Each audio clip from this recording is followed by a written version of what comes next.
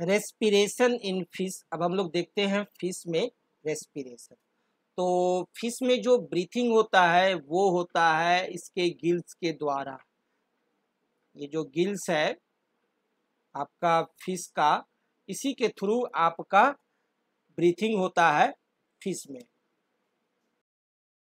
The fish has special organs of breathing called gills fish के पास एक special breathing का ऑर्गन्स है, जिसे कि कहते हैं gills the fish has gills on both the sides of its head और फ़िश में जो गिल्स होते हैं, वो उसके हेड के दोनों तरफ़ होते हैं.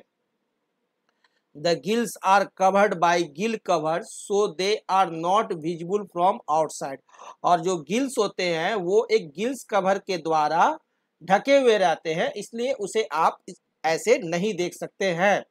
जब तक कि आप उस गिल्स कवर को उठाइएगा नहीं, तब तक वह दिखाई नहीं देगा। The fish lives in water and this water contains dissolve oxygen in it fish तो रहती है पानी में और उस वाटर में क्या रहता है? ऑक्सीजन डिजॉल्व रहता है। उसे ही फ़िश ग्रहण करता है। फॉर ब्रीथिंग ब्रीथिंग के लिए fish uses the oxygen which is dissolve in water और ब्रीथिंग में फ़िश जो है, जो वाटर में जो ऑक्सीजन डिजॉल्व है, उसी का उपयोग करता है।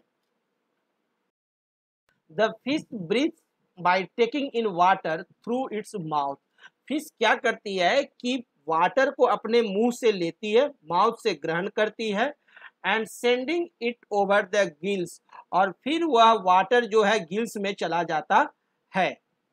और when water passes over the gills the gills extract dissolve oxygen from this water और वो गिल्स क्या करता है कि उसमें से ऑक्सीजन को एक्सट्रैक्ट करके बॉडी में लेता है और वाटर को बाहर निकाल देता है। The water then goes out through the gill slits hidden under the gill cover thus the dissolve oxygen is extracted from water by the fish when it flows over the gills.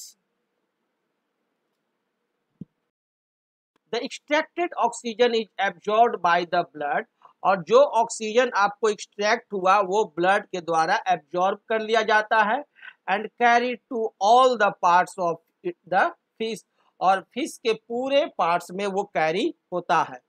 The carbon dioxide produced by respiration is brought back by the blood into the gills for expelling into the surrounding water और फिर respiration के दौरान जो carbon dioxide बनता है, वह फिर blood के द्वारा कलेक्ट किया जाता है और उसे फिर गिल्स के द्वारा बाहर एक्सपेल कर दिया जाता है, निकाल दिया जाता है। The fish has no lungs like us और फ़िश में हमारी तरह कोई लंग्स नहीं होता है। The gaseous exchange in fish takes place in the gills fish में जो गैसेज एक्सचेंज होते हैं, वो किसके थ्रू होते हैं? गिल्स के थ्रू होते हैं।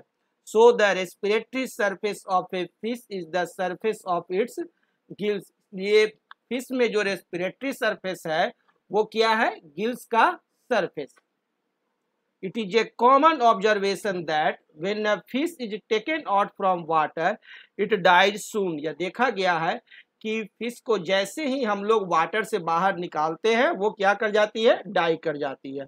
Even though there is a lot of oxygen in the air around it जबकि इस एटमॉस्फेयर में ज़्यादा ऑक्सीजन है वाटर की तुलना में, फिर भी this is because fish does not have lungs ऐसा इसलिए होता है क्योंकि फ़िश के पास लंग्स नहीं है to utilise the oxygen of air कि एयर में मौजूद ऑक्सीजन को यूटिलाइज कर सके for breathing and respiration breathing और रेस्पिरेशन के लिए। इसीलिए फ़िश को जैसे ही हम लोग वाटर से बाहर निकालते हैं, वो फ़िश क्या करती है? डाई कर जाती है।